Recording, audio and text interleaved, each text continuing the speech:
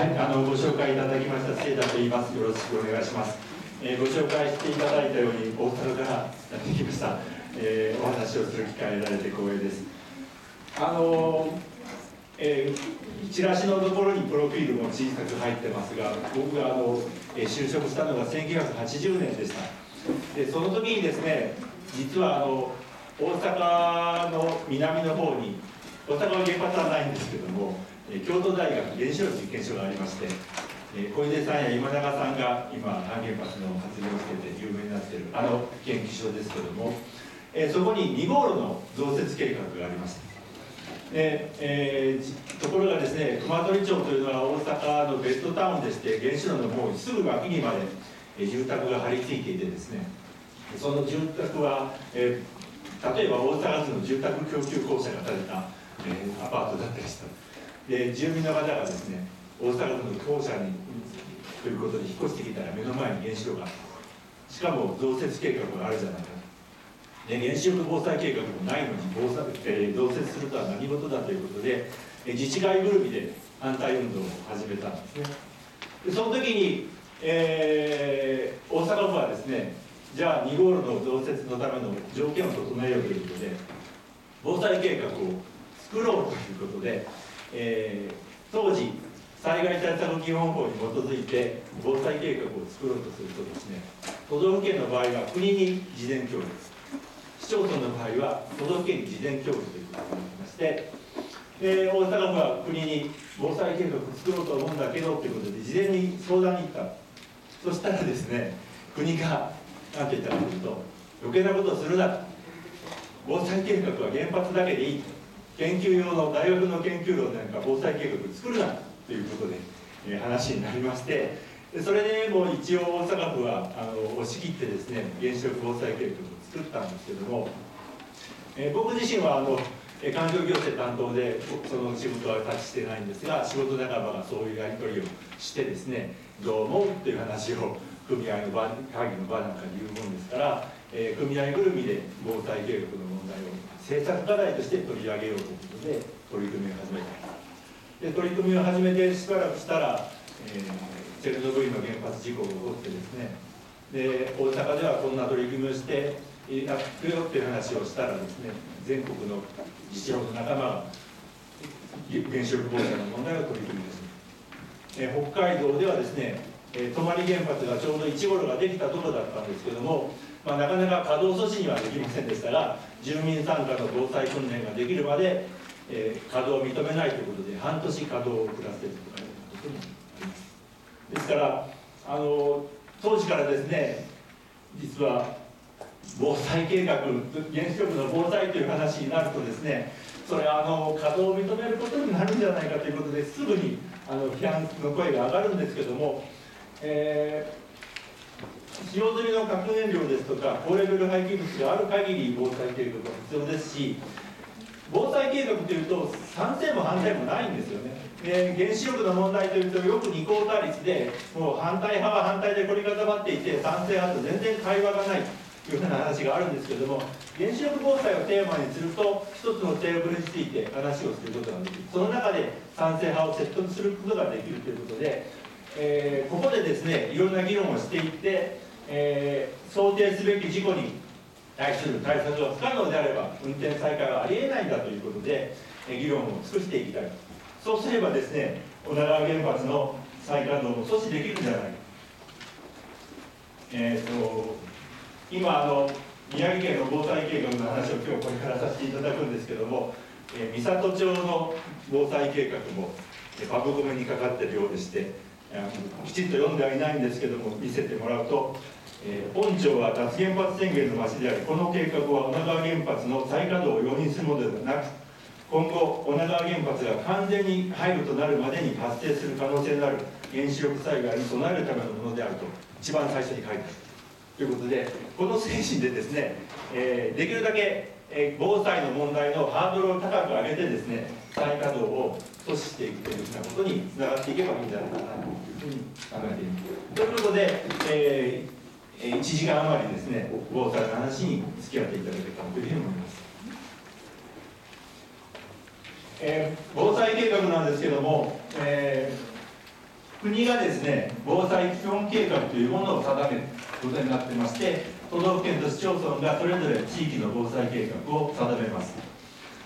えー、この防災計画というのは法律に根拠がありましてえ災害災害法とここで書いてますが災害対策基本法に基づいて作ることになっているんですね。で先ほど言いましたように、えー、今まではですね都道府県が作るときは国にお伺いを立てるということだったんですが今はですねえー、一応建前上国と都道府県と市町村は縦の関係じゃなくて横の関係だということになってまして、えー、それでですね事前協議じゃなくて今事後報告でいいこういう計画を作りましたよということを国に報告するだけでいいというふうに変わってます。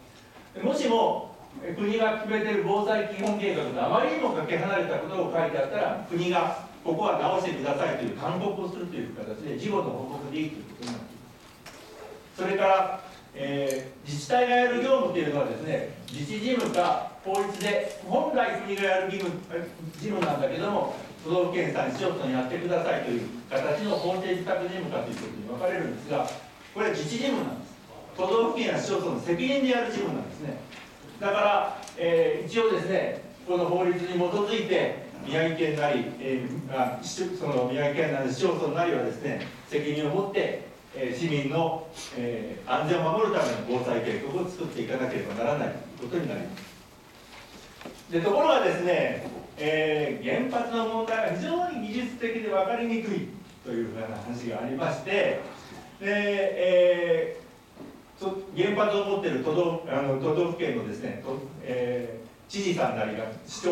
市町村長さんなりがですねすぐに国に陳情なり要望に行ってですね原子力防災だけは難しいから手に負えません。国にやってちょうだいみたいなことをすぐお願いに行くんですよね。でそれでそんなこともあってですね、えー、旧の原子力安全委員会が新というのを作ってます。防災新と僕ら簡単に言ってたんですが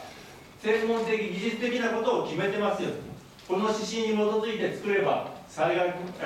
防災計画は作れますよというふうな指針があったんですね。この指針が実はかなり厳強でして、えー、原発の周り10キロだけで防災計画はいいよというふうなことが書いてあった。ここに書いてあったんですけれどもこれ、えー、福島原発事故が起こってですねえ原子力安全委員会は廃止になります。新しく去年の9月に原子力規制委員会ができたわけですけどもその時に、えここもちょっと略して書いてて申し訳ありませんが原子力災害対策措置法減災法という特別の法律の中でですね今までは勝手に原子力安全委員会は法的に根拠のないまま指針を決めてたんですけども一応今回法律改正をしてですね法律に根拠がある指針ができた。名前も原子力災害対策指針。ということに今変わりましたしたがって、えー、宮城県はですねこの指針をお手本に防災計画を作るということになります。それで、えー、じゃあ指針を法的に位置づけられたんですけども、えー、その見直しをするという作業が実は事故の後ですね2011年一昨年のですね6月から実はもうスタートしてたんですね。事故の教訓もまだよくわからないうちから。で、えー、原子力安全委員会は去年の3月にの末で廃止になる予定だったので3月に中間取りまとめを行います。ここで検討をやめてしまった。でようやく去年の9月になって規制委員会が発足してですねそこで、えー、新の検討作業が正式に始まって10月の3日に叩き台。24日にソンで31日に指針ができたということになってまして、えー、あっという間に作られちゃったんですね。それでですね不思議なんですよ。原子力安全委員会が防災指針を見直しするときはパブコメにかけてた。でところがえこの10月に決めるときはパブコメの手続きも何もなしで。え？ちょっと待ってあ、すみません、僕立ってるので感じなくて。大丈夫ですかね。はい、あの本当にあのまだまだ余震になるんですけど、はい、えー、それでですね、あっという間に決めちゃって。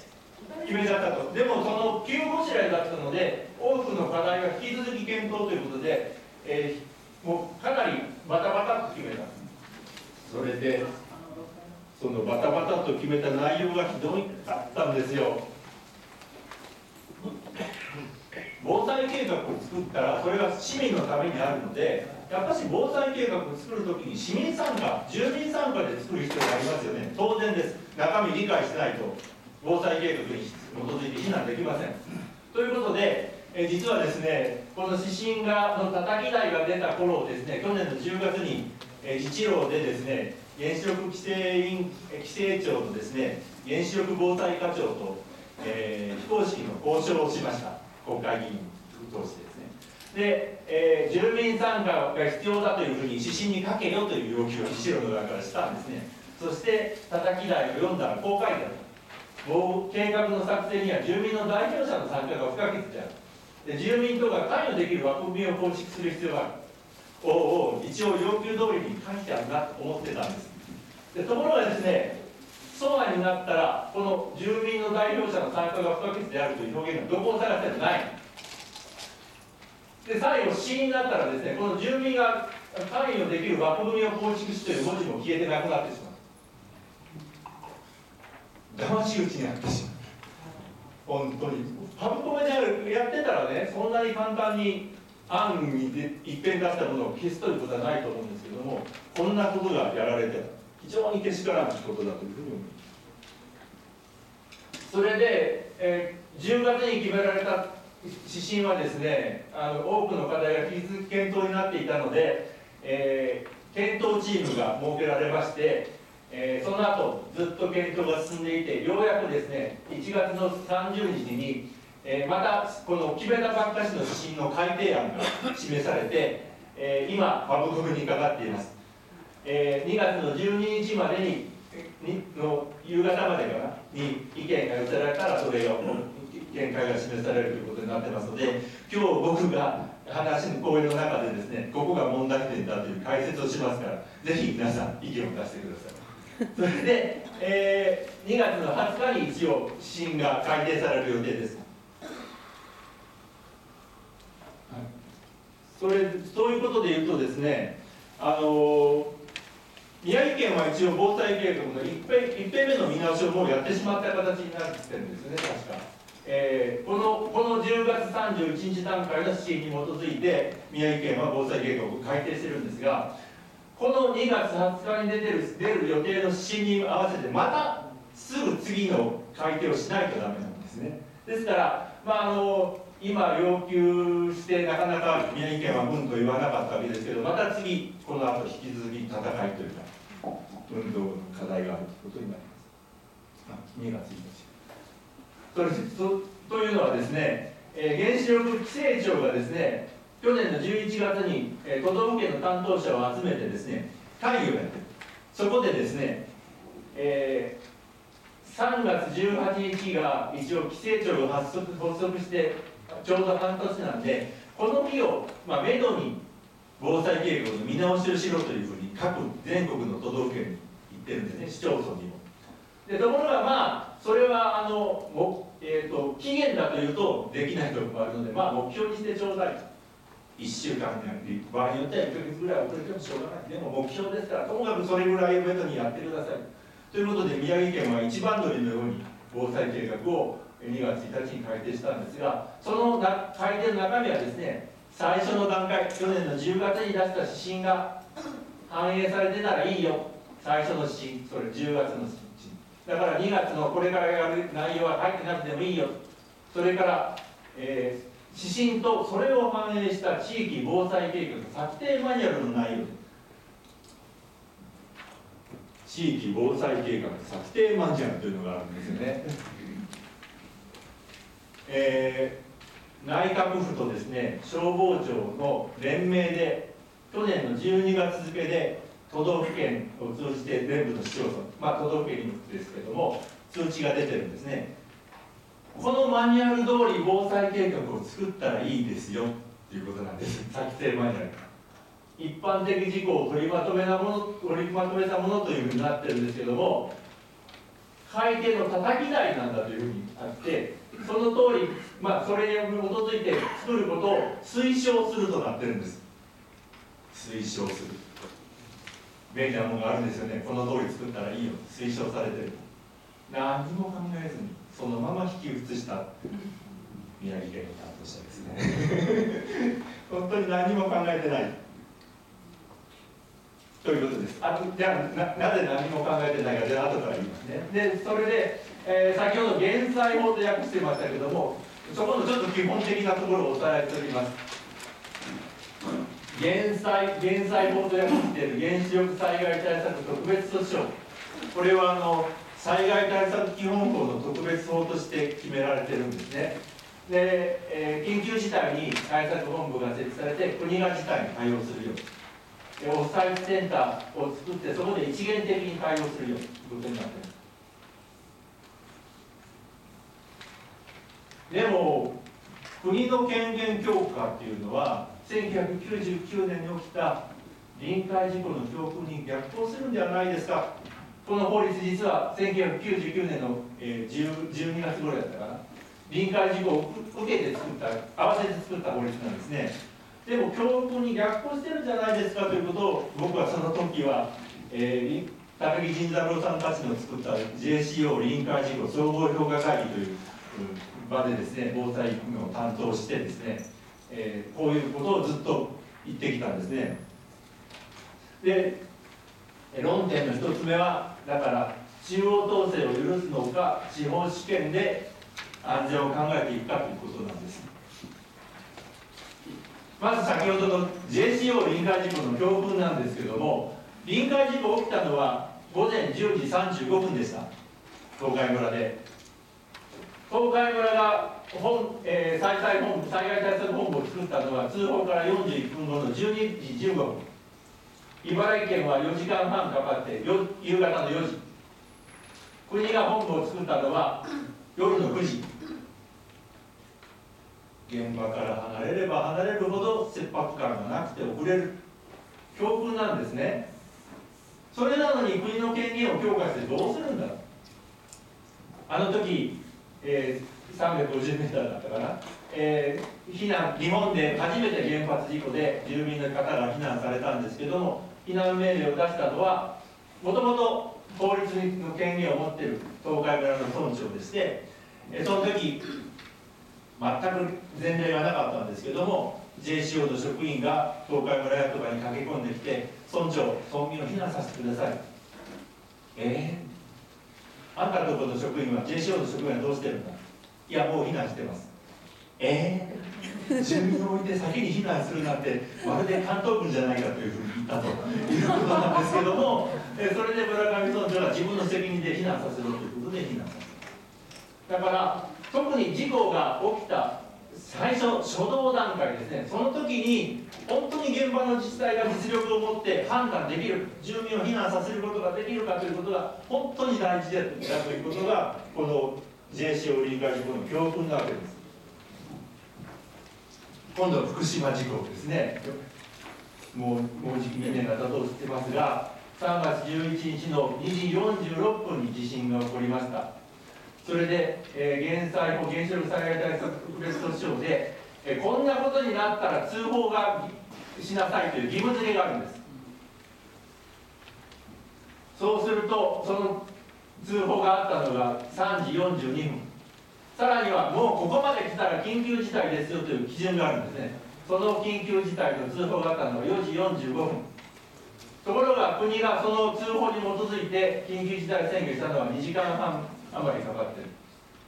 これは何なんだということでものすごく僕は最初びっくりしましたね。ショックだ。何をしてたの？そうすると、えー、海江田大臣がまず議会を作るのに時間がかかる。えっと、えー、経産省から官邸までに行くのに時間がかかる、えー、幹事長が途中で、えー、与野党党首会談のために席を外して決断できなかったとかいろいろなことが伝わって2時間半かかったということらしいんですけど本当にあの馬鹿げてる自動的にすぐに宣言すべきだと思うんですけどもそれができるさらにですねようやく7時3分になって緊急事態宣言したんですがそれの発表がされたのが7時45分。枝野官房長官現時点では直ちに特別な行動を起こす必要はないとこの段階で言ってるんですね。これが僕は悔しくてしょうがないんですよ。でなぜかというと実情で僕はあのあちこちの原子力防災訓練の監視行動に行きます。監視行動なので、えー、本当の事故の時は立ち入れないオフサイドセンターの中に入れます。入ってみてると事故が起こったことに訓練ですから想定してですね住民避難させることが決まってるんです。オフサイドセンターの中でどこの公民館にバスを廃車させどうやって廃車させるとか一生懸命会議してるんですね。でところがその段階でになってもですねオフサイドセンターの外にある防災無線は何と言ってる本日何々原発で事故が起こったことで訓練をやっています。これは訓練です。何々原発で事故が起こりました。直ちに特別な行動を起こす必要はありません。今後の情報に注意してください。何なんだ。避難させることが決まってるのに特別な行動を起こす必要はないっていうのは何なんだとあの放送は。ということで監視行動ですから後で県と交渉するときにああの放送だけは何とかしろしてください要求してくださいということで毎回頼んで帰ってくるんですけども実際の事故でございます。兵庫県の佐用町というところで水害があって多くの方が亡くなったことがあったんですけども風水害であの洪水の時はですね川の水位が上がってくると避難勧告とか避難命令とか出る前に避難準備情報というのを必ず自治体は出すんです。なんで洪水の時に避難準備情報というのが出せるのに原発で事故の時は避難準備情報が出せなくて直ちに特別な行動を起こす必要はないっていうんですか洪水だったら避難準備情報で避難の困難な方は避難を始めてくださいって言うでしょなんでできないんですか？ずっと言い続けてたんですけどもそれができないでさらにさらに、えー、そんなこんなしてるうちにですね福島県が、まあ、現場により近い福島県が火入れを切らして半径2キロ避難します。それに遅れて国が半径3キロ避難します。全く臨界事故と同じですよね。遠く離れれば離れるほど切迫と。3キロの避難指示は10キロになり20キロになりさらに30キロ圏内は屋内指示屋内避難だということに変わっているえっ、ー、と今日後でお話聞ける現地の状況の話聞けるそうですけれども大阪に避難されてたされた大熊町の方のお話を聞くとですね夜の7時ぐらいですかね大熊町にある、えー、東電の社宅にはもうバスが乗り付けられて社員の社員の家族の避難が始まその時には直ちに特別な行動を必要ないとアナウンスされて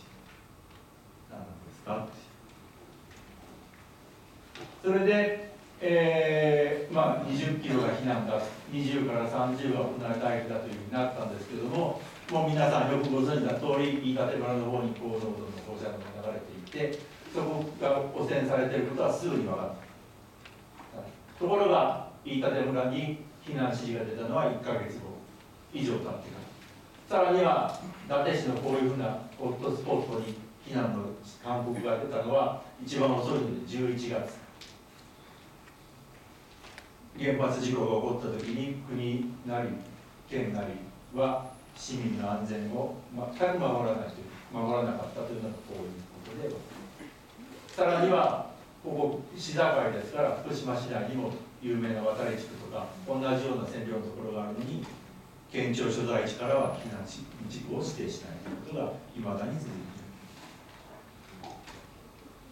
いるで、えー、いろんな教訓があると思うんですけど私はですね福島原発事故の教訓というのは国による情報統制を許してしまったことだというふうに思っていまして、えー、特別な行動を起こす必要がないというアナウンスだとかスピーディーの計算結果が隠されたあるいは知らなかったばかげていますけれども。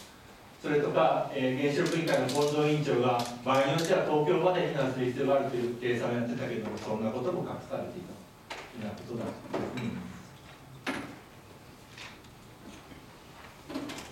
でこの福島事故が起こる前に私はずっとこのスライドを作ってですね使って原子力の防災計画は中央統制の問題があるよ。オフサイセンターに関係者が売り集まって協議会で決めるんだということですけども国の指示待ちになるでしょ。自己情報をオフサイドセンターで一元的に管理するけど国が全部管理してしまうんじゃないんですか。ってことを言い続けてきた。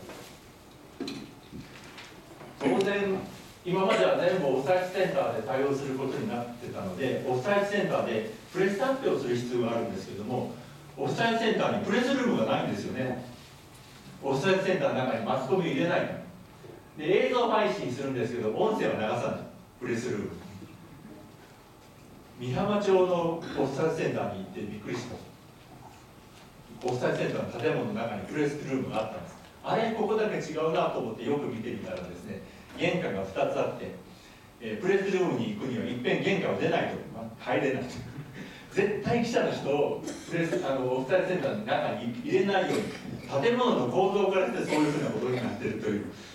とにかく情報統制をするんだというふうなことがこの法律の仕組みになっているという状況です。さてそういうふうな中でですね宮城県はじゃあ国に任せにせずに自分とこでやりきるという気概があるか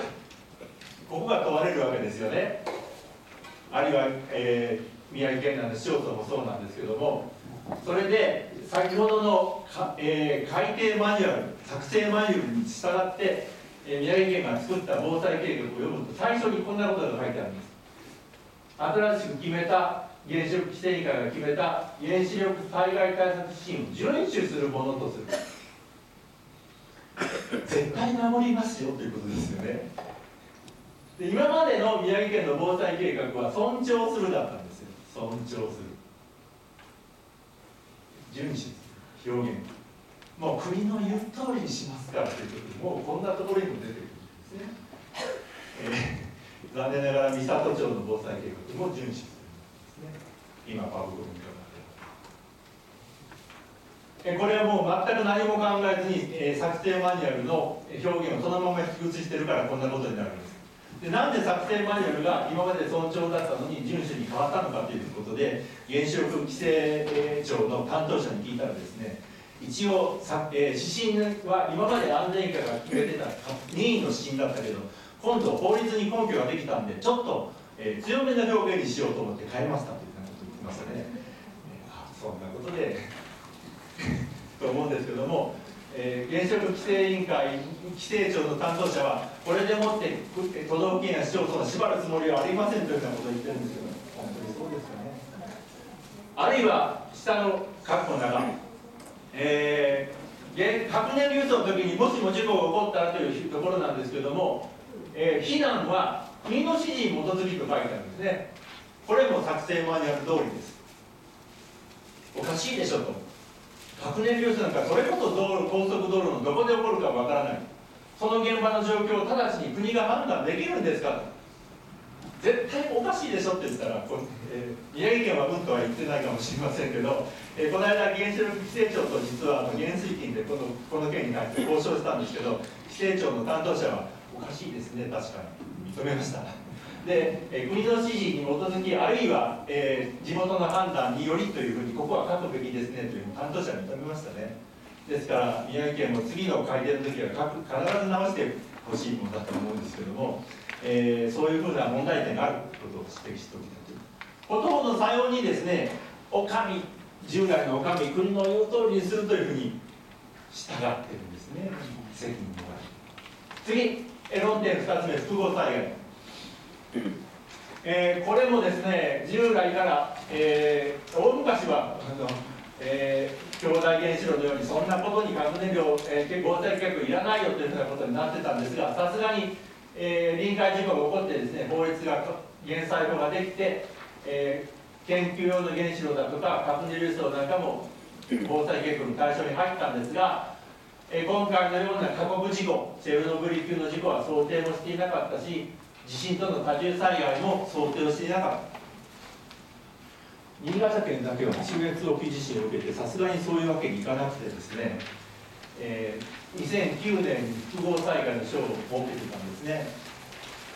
で新潟県の防災計画を見てみるといわゆるモニタリングポストですね。それが記載する書かれなくなる。あるいは道路がに、まあ、亀裂や陥没ができて要因が参集できなくなるとかあるいは情報伝達手段が機能を喪失する。もうともかく広域に避難しないといけない。全く福島の事故のことを予測してるんですね。予測してる。新潟県の防災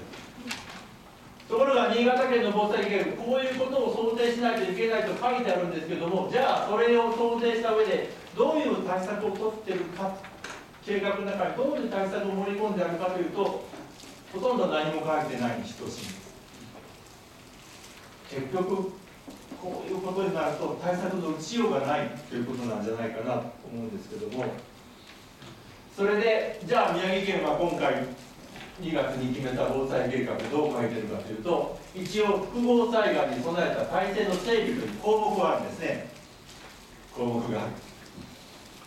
じゃあその項目で何と書いてるかというと新潟県が先ほど今見ていただいたところで新潟県の計画はこんなに具体的に書いてるんですけどもそういうこういう具体的な表現は何もないです。何が書いてあるかというと、えー、複合災害の発生可能性を認識し防災計画等を見直し備えを充実するものです。はあ？計画を見直しをすると計画の中に書いて何の意味があるのか。見直しをする必要があると認めるんだったらちゃんと見直しをして対策を書きなさい。当たり前のことですよね。それができない。なんでできないか。この表現も作成マニュアルの表現としてえー、宮城県だけじゃなくてあの、まあ、見させてもらってるということで多分、まあ、何べも何べもありますけど三郷町のパブコミャンも同じ同じ表現が書いてある。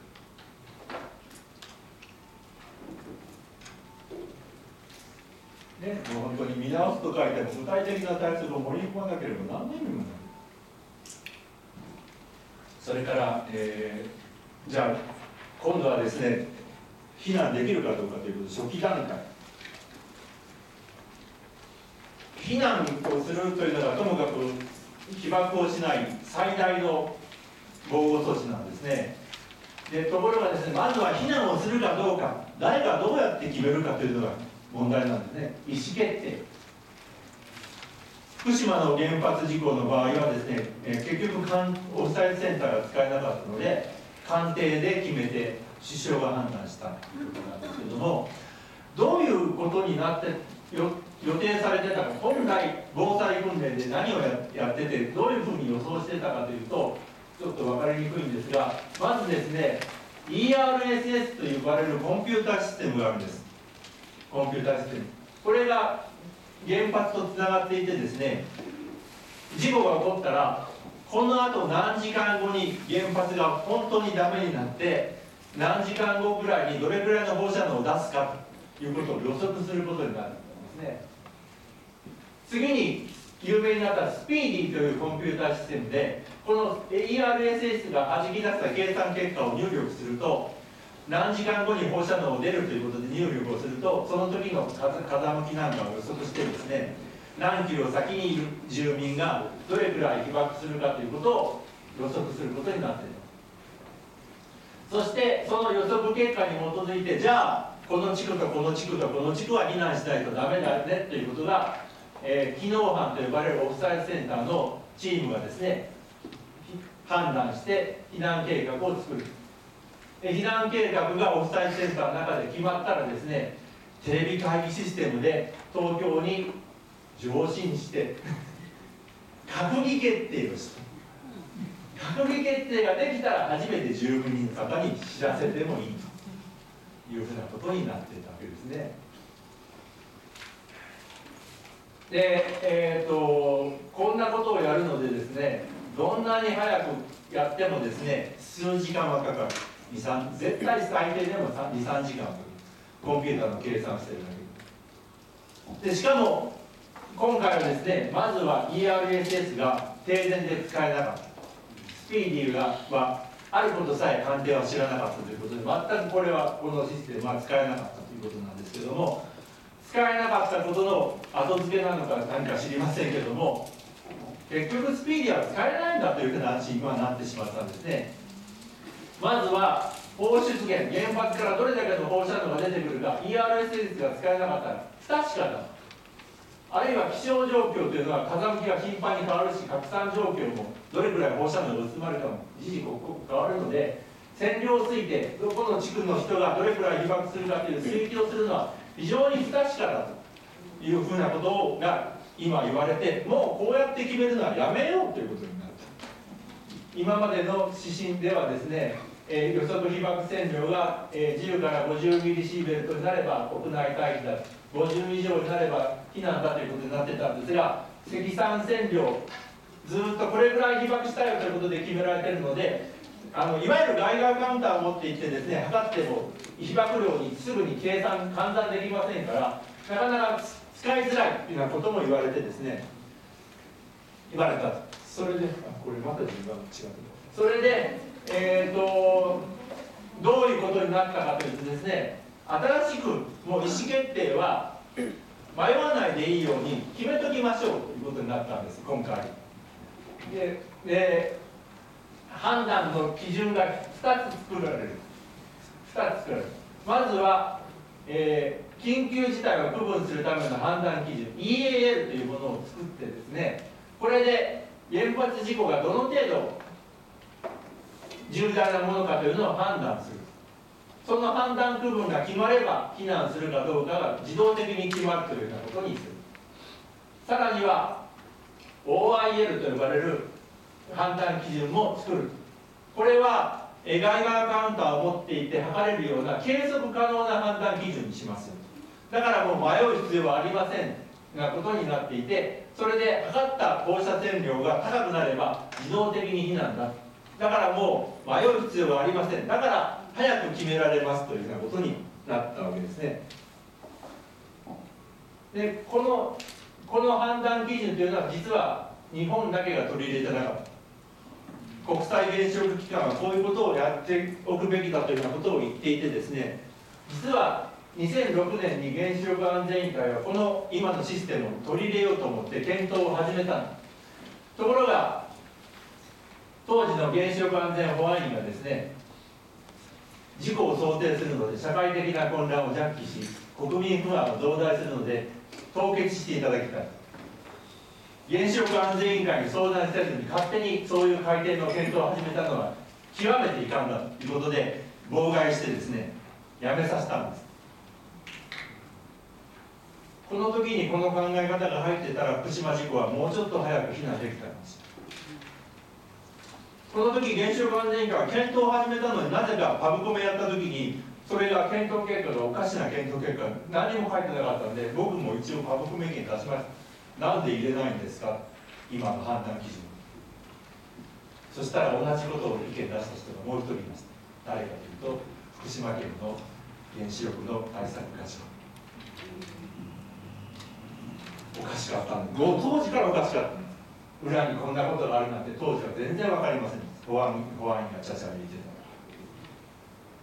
それで、えーと、結局ですねその EAL というのはじゃあどういうものかということなんですけども今ですね宮城県の防災計画には書いてません。この EAL に関しては先送りされていたので今現在の指針原子力災害対策指針の改定案の中に書いてあります。実はですね今パブコメ12日までに意見を出してくださいと言われている指針の改定案の最大の問題点が実はこの表なんです。この表。これがこのまま通るとですね指針になる予定なんですけれどもこの表に基づいて宮城県もまた防災計画を決める。そうするととんでもない防災計画がまたできる。なぜとんでもないかというとこの EAL っていう判断基準はこのここの欄なんですね。ここの欄。でまず一番最初どういうことかというと例えばですね立地道府県において震度6弱以上の地震を EAL にしますって書いてあるんですね。どういうことかというと例えば宮城県で震度6弱以上の地震が起きたら警戒事態だという部分になるわけです。これが EAL に基づく判断判断ですね。判断部分。もう自動的に警戒事態という分類される。あるいはその下の欄に行くと冷却剤の漏洩冷却水が漏れますよと。あるいは非常用炉心冷却装置 ECCS が動きません。あるいは電全交流電源喪失5本以上継続。電源喪失ですね。そうなれば敷地緊急事態だと。敷地緊急事態。さらには全ての冷却機能喪失だとかあるいは敷地境界ですでにもう放射線量率が、えー、通常時の100倍か。5マイクロシーベルトになったら全面緊急事態ということに自動的に決めますよということなんですけどもそこまではまだまだ許せます。まだ許せます。ところがこの警戒事態だとか施設敷地緊急事態だとか全面緊急事態になった時に自動的に発動される防護措置措置の内容これが全くですね福島事故の教訓を反映してない。とんでもない震度6弱以上になって地震に襲われてるのにまだその段階で情報収集だと言ってるんです。でこの後解説しますけどパズと呼んでる原発の中、えー、周り5キロの人たちの避難はようやくですね冷却水が漏れ出してあるいは電源喪失して初めて準備だと言ってるんです。さっきのあの川の水位の状況の話とびっくり考えてくださいよ。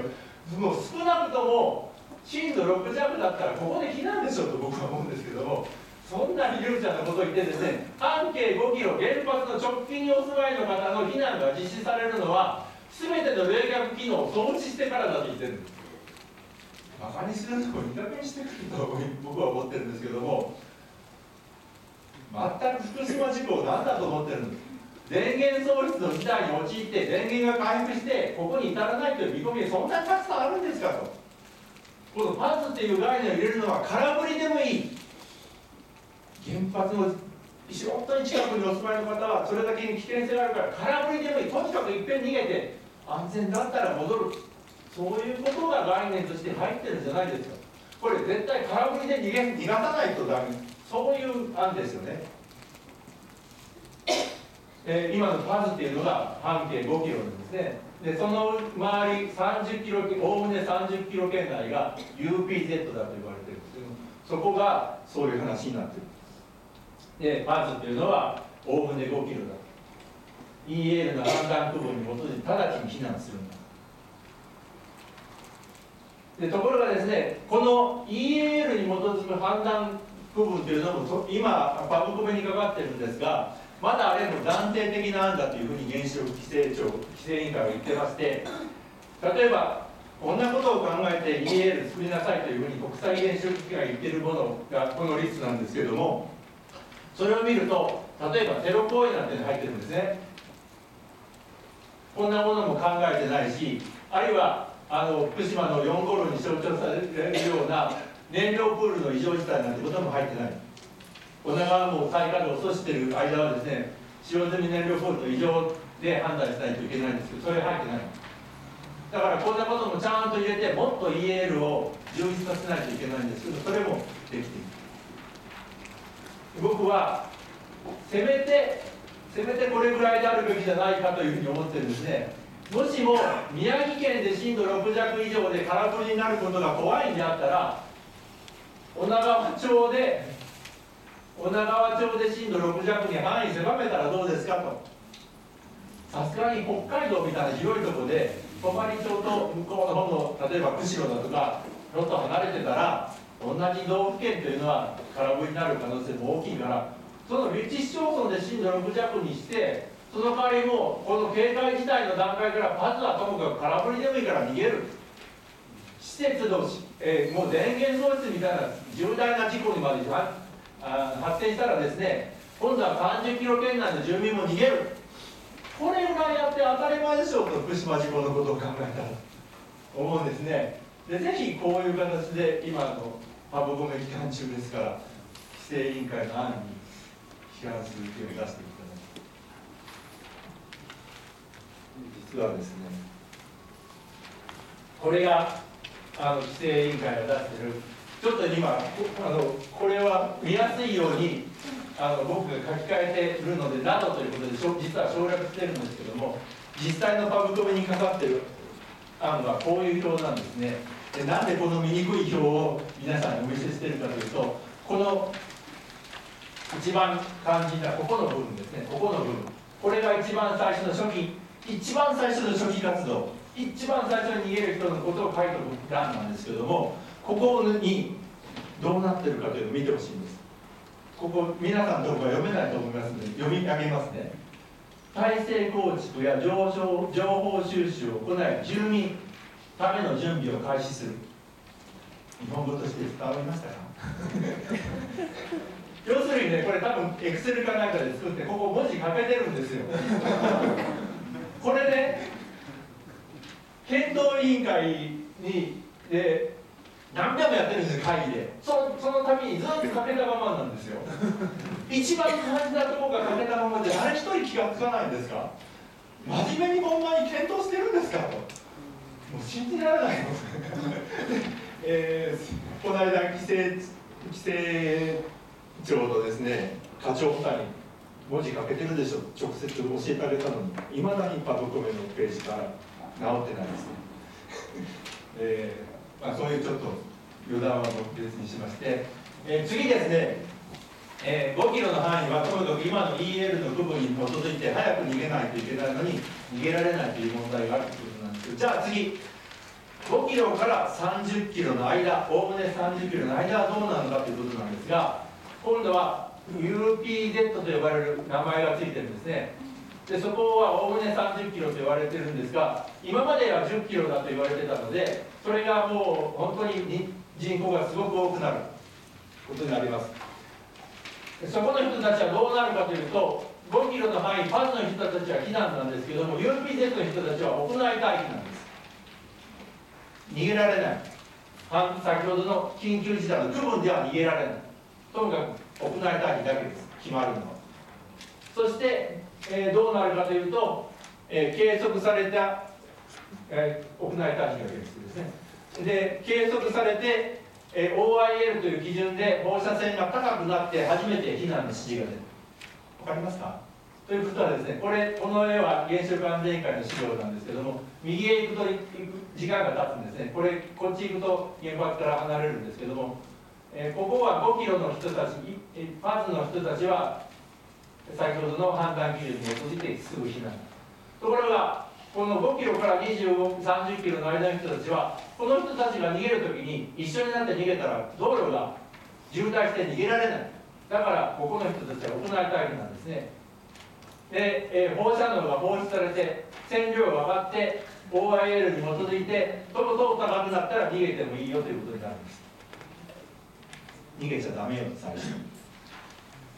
屋内退避だということですから窓から外を見てたらですね5キロの範囲の人たちが逃げていくのが見えるわけですね。その時に絶対逃げずに家の中にいないとダメなんです。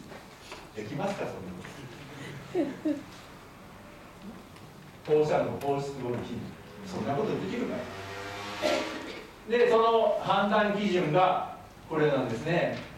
何と書いてある。これも今のパブコメ案に書いてるんですが避難の緊急避難のための基準が OIL1 という基準がありましてそれが、えー、1時間あたり500マイクロシーベル。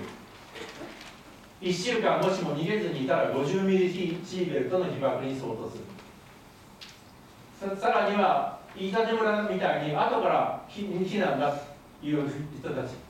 そういう人たちがは年20ミリシーベルトに相当する20マイクロシーベルトで判断することになっていまして結局この数字というのは数字見てもピンときませんからどういうことかというと平常時の1万倍なんです。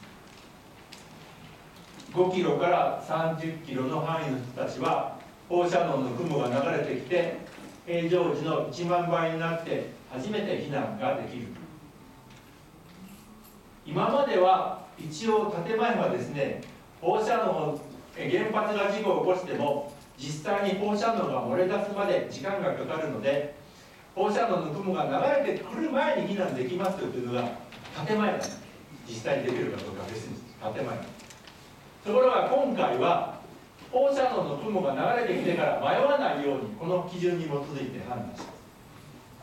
じゃあもう被爆するんじゃないかと。だってレベル高くなってる。高くなってから逃げろと言われたらどんどん被爆しますよね。それにですね困るのはこれ計測500マイクロシーベルトパワーというのは計測されたのが例えばあのなまあ、例えばですね三郷町だとしますね。三郷町だとします。じゃあ三郷町の人たちはこれに、えー、従って避難するのか。じゃあその時に避難の指示はどこがどの範囲にするのか。どっか1箇所で500マイクロシーベルトと判断されるもっと離れたこっちのところで、えー、もう例えば仙台市内も一緒にこの500が1箇所で判断されたから避難するの。そこは何も決まってない結局どっかで計測されたから迷わずに判断できると言ってもですね計測された場所だけ判断するのか計測されたから見越して遠くまで避難するのかは何も決まってない。結局迷うじゃないのと思うんですけどもそうなんですね。で、えーと、今さっきも言いましたように UPZ の人たちは、えー、UPZ5 キロから30キロの市町村はですね同時期に避難を開始して避難経路の交通渋滞を招くことを避けるなど5キロ圏内の住民が円滑に避難できるよう配慮をすべきことについて、えー、その住民に対してあらかじめ理解を求める。誰が理解するか 自分のことを犠牲にして。そんなことを言ってるもう絵に絵に描いた餅机上のプールもやめてほしいと思いますよね。それから、えーと、もう一つ今のパブコメはもう一つ OIL にはいくつもの種類があるんですけども、えー、飲食物摂取の基準も、えー、今パブコメにかかってます、えー、こういう値になってましてこれはですね、えー、去年の4月から運用されている、まあ、キロ100ベルに比べてまた自己直後に戻ってしまう高い値ですね。福島自己直確かにあの厳しい基準を採用すればそれだけ測るのに時間がかかって大変かもしれませんけど不幸にしてですね福島事故を受けて各地でベクレルモニターだとかいっぱい備えられましたから100で運用してもなんとかできると思うんですけどもね。これもこんな高い値けしからはい。ではまだまだあります。問題点が。重点区域の範囲。で、えー、今の UPZ30 キロ圏内だというおおむね30だと言われてるんですね。でところがですねもう言うまでもなく福島の放射能はもう100キロ200キロ飛んでいったわけですね。えー、アメリカは事故の時、えー、在日米米人に対して80キロから避難しろという指示を出したえー、東電の吉田所長最長3キロって聞いても大丈夫かと思った。と30キロどころか青森から関東まで住めなくなるのに思った。最低でも半径50キロできれば半径70キロ。万全を期すなら100キロでも不思議はなかった。スピーディーをもとに最初大きく避難させて予測で、えー、狭めていけばよかった。と言ってます。じゃあどうなるか。ところが防災指針は先ほどから言ってるように5キロ30キロ。ですね。宮城県も5キロ30キロ。で、えー、ところがですね必ず30キロにしないとダメかというとおおむねなんです。で、えー、防災指針にもその災害対策この指針にもですね地勢だとか行政区画等の地域に固有の自然的社会的周辺状況を勘案して設定することが重要だと書いてあるんです。自分で判断して広げることはありなんですよ。新通りにやれば。で、えー、滋賀県は新通りに42キロにしますって言ってるんですね。えー、大気の拡散シミュレーションで放射能の拡散計算をしたら42キロまで放射能のレベルが上がることが分かった。だから滋賀県は42キロでやりますって言ってます。同じように京都府。滋賀県はスピーディーを持ってないんですけど京都府はですね高浜原発のスピーディーの端末があります。スピーディーの端末宮城県も当然持ってるんですけどもスピーディーの端末にこれだけの放射能が出たことにすればということで入力すれば宮城県も計算することができるんです。京都府はやりました。その結果こういうふうに放射能が拡散するということが分かった。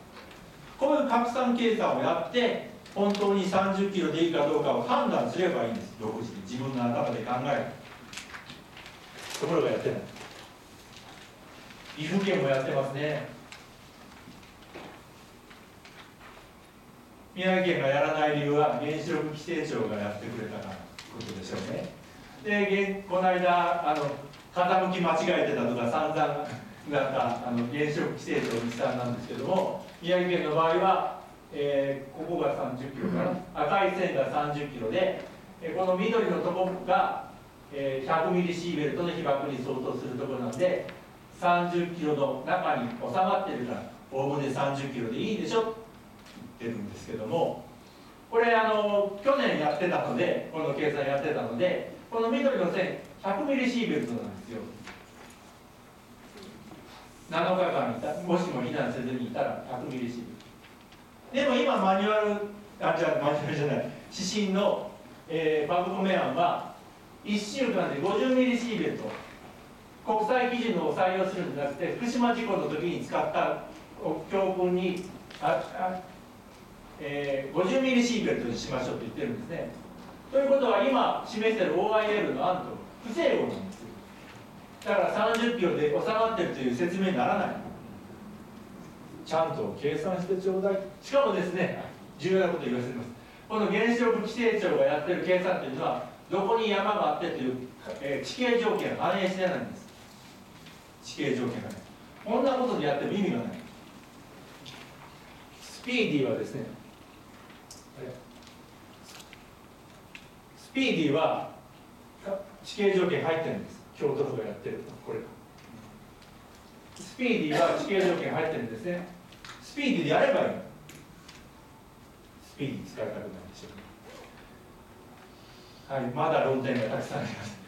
次じゃあそんなこんなでいろいろと計画を作っていて、えー、実際に迅速な避難が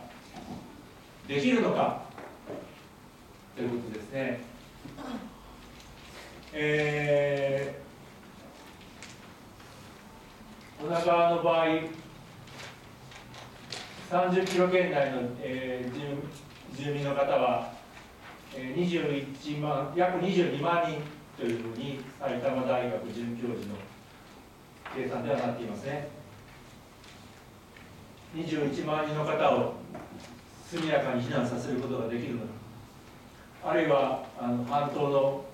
こっち側の方たちですね原発に近づかないと内陸部に逃げられない方たちをどうやって避難させるのかという大きな問題がありますよね。で船で逃げるというふうな計画を作っていたとしても海が荒れてた時どうするのかとかいろんな問題ありますよね。で一番典型的なのはですねえ、え全国の原発の中で一番周囲の人口が多いのは、え東海第二原発なんですよ。で東海第二原発の地元茨城県知事はですね去年の3月の県議会でこういうふうに言ってます、えー、UPZ の、えー、人口が30キロの厳密に計算すると94万人。30キロがかかる市町村の全人口を合わせると106万人、えー、県内のバスを全部動員しても1回に24万しか運べない。搬送できない。じゃあどうやって106万人避難させるのか不可能であると考えていますというふうに言ってますね。こうなると僕はやっぱし配慮しかないと思うんですけどもね。どう思われます？じゃあ宮城県避難計画あるの？ちゃんとだ避難させられることができるの？させることができるで実際に個別の避難は基礎自治体である市町村の防災計画の中でどの地区の住民の方たちをどうやって避難させるか具体的に書いていくのが市町村の役割になってくるんですけどもそれを決めることが本当にできるかということですね。それでえ重要なことはですね実際に本当に避難できるのかどうかちゃんと事前に考えてみるということですね。それで、えー、原子力規制委員会は12月12日の委員会で考慮すべき事項というのを決定していましてですねその中にちゃんとこんなことが書いてあるんですね。移動手段や移動経路に関する事項は避難時間シミュレーションの結果なども参考にして決定する。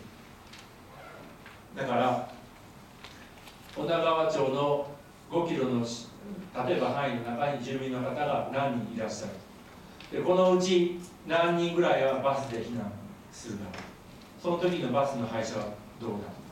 だ？あるいはそのうちの何人かは自家用車で逃げるならそうすると発生する車の台数交通量はこれぐらい何台？ここの道路は何1時間に何台通行できる？そうするとこの道路は普段は10分できるところが3時間かかるとか。そういうシミュレーションをやって本当に迅速に避難できるかどうかを考えてそれで避難計画を作るべきだというふうに原子力規制委員会自体が宮城県やってますか？やってないですね。やってたらこんなに早く見直しができるわけですで、えー、調べてみるとですね他にもやってるところあるかもしれませんが愛媛県。ついこの間入札をやってます。何の入札か見てみると避難時間推計の検討業務というのをコンサルに発注してます。3月までに成果品を出してください。やればできるんですよ。もう予算つければ。コンサルにが設けるだけかもしれませんけど。一応それなりに計算してくるでしょ。う宮城県絶対やってもらわないとダメですよね。大体あの自治体というのはですね自分とこだけ頭出るとポンポンと叩かれるのが嫌で前出るの嫌がるんですけどあそこがやってるじゃないかと言われると弱いんですよね。なんでお前のとこできるんだ？愛媛県できるのって言われる。だからぜひこういうことを要求していただければ。それでですね30キロ圏ちょっと絵が汚いんですけども1月26日の NHK の報道なんですけども30キロを超えて避難をしないとダメだ。30受けてもらえないといけない。どこに逃げるか県を越えて県境を越えて避難をするというような計画を作っているのは例えば島根県のようなところで6県だけ。決めていませんと宮城県なんかですね。決めていないところのが多い。状況です。次、えー、福島の場合はですね双葉町の病院の入院患者さんたちが避難バスにまあ言い方悪いですけど放り込まれて、えー、看護師さんもお医者さんもつけないで長距離避難している間に大勢の亡くなりになることがあります。そういう養護の援護が必要な方に関してどうするのかということなんですけどもこれもですねえ作成マニュアル通りの文章が県の防災計画に書いてありまして病院と医療機関はまず自分のところで避難計画を作り合うというふうに防災計画に書いてあるんですけどもその、え避難計画に基づいて医師看護師職員の指示引率のもと迅速かつ安全に入院患者外来患者見舞い客等を避難または他の医療機関に転院させるものとする。この文書の主語は病院と医療機関はなんです。一番援護が必要な人たちに行政が手を差し伸べなかったら何のための防災計画かと。僕は思うんですけども同じように社会福祉施設の管理者がという項目この下に続いてます。管理者に責任を押し付けてるんちゃうのと思うんですけどもこれもですね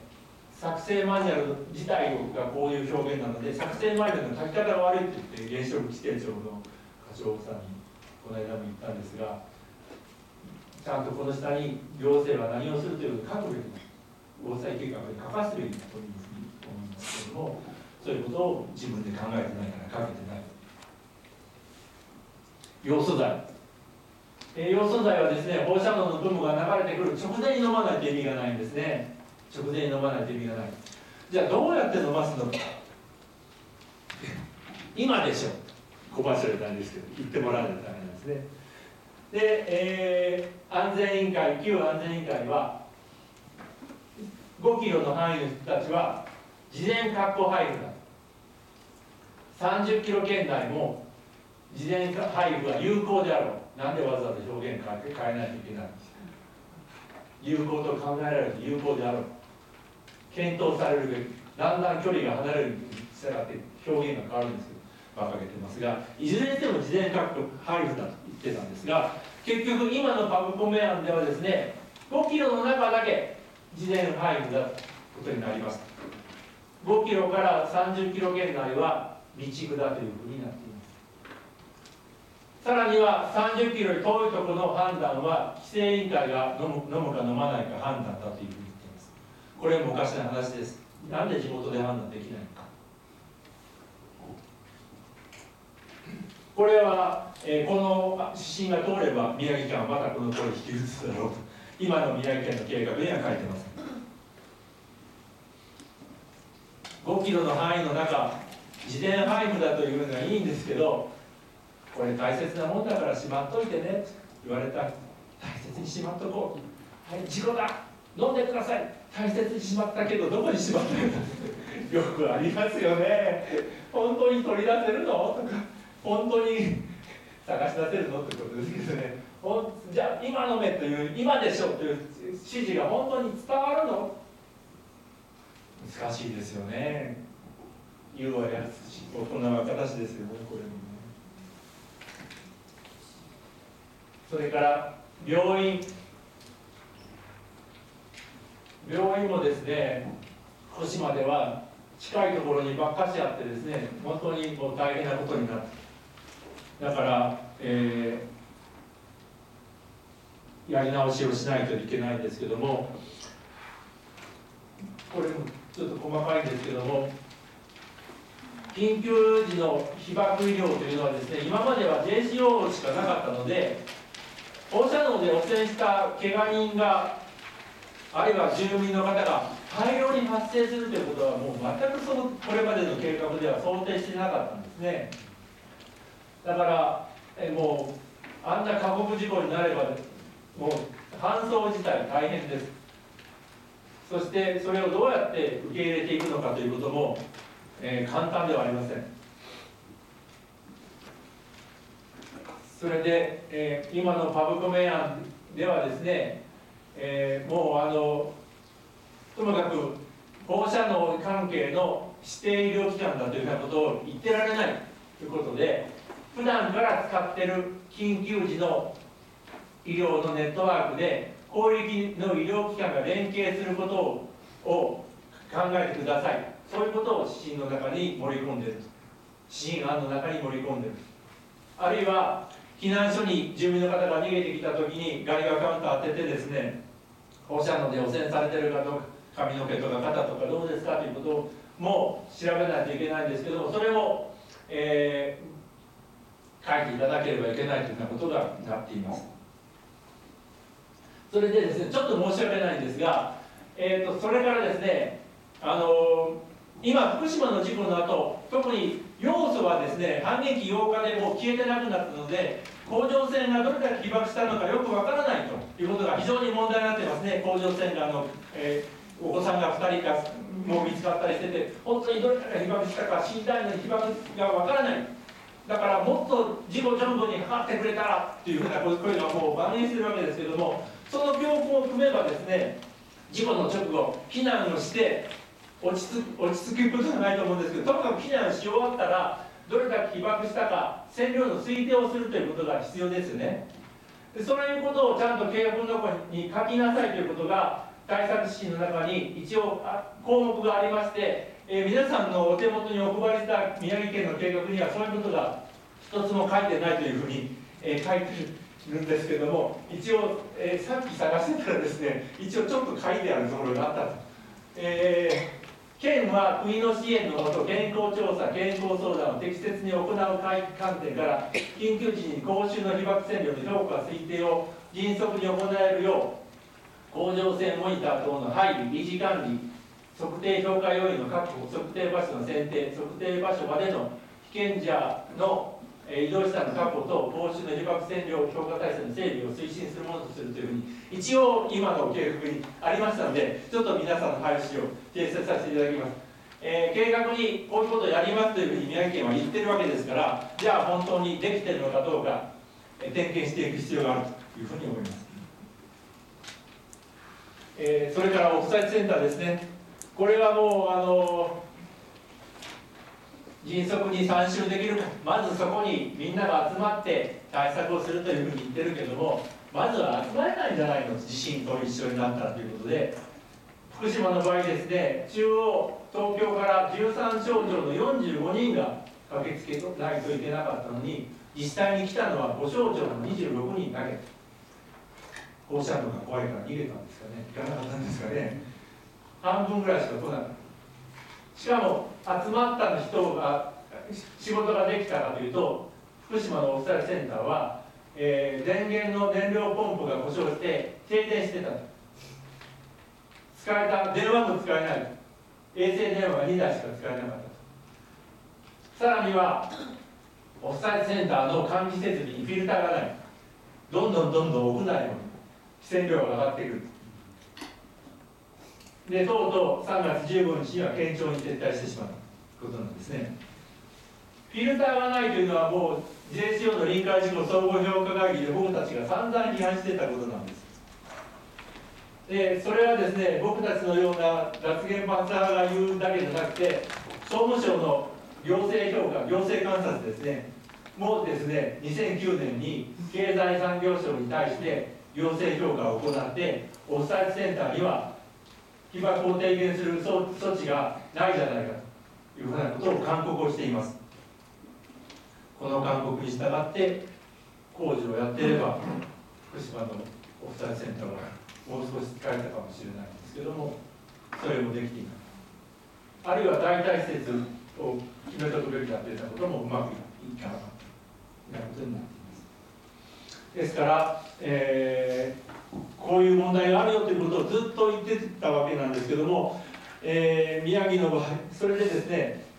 その放射能の部分はそもそも流れてくるようなところにあることがおかしいじゃないかということですよね。えー、ここが従来の防災資金の避難区域10キロですね。えー、その中にあ,、えー、とあるのはダメよということで、えー、あれ？宮城県あ女川ここですね女川は約7キロから8キロぐらいしか離れてな。いさらにはえー、結局こんなことになっちゃったわけですよね、えー、つなぎでもう全然使えなかった。もしも女川原発が本当にあの後大災害だったらとんでもないことになってでそういうことで考えるとこれが原発のある場所でして右へ行くほど離れてる。上行くほど標高が高いということなんですけども女川は、まあ、標高8メーターぐらいにしかないところにあったのし近いところにあったのであの被災したことですね。それで、え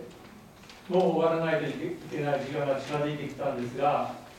今パブコメにかかっていて新改定案が2月の末下旬には